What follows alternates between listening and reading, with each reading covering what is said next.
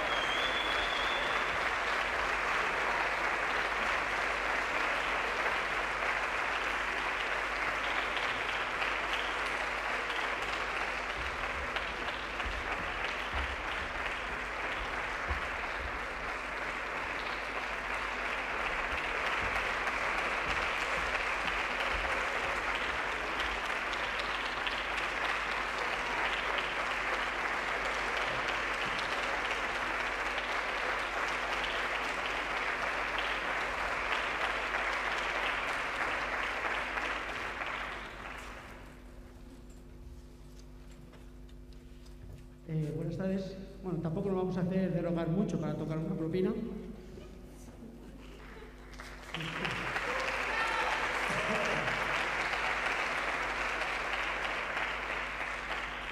Lo primero, muchas gracias por estar aquí.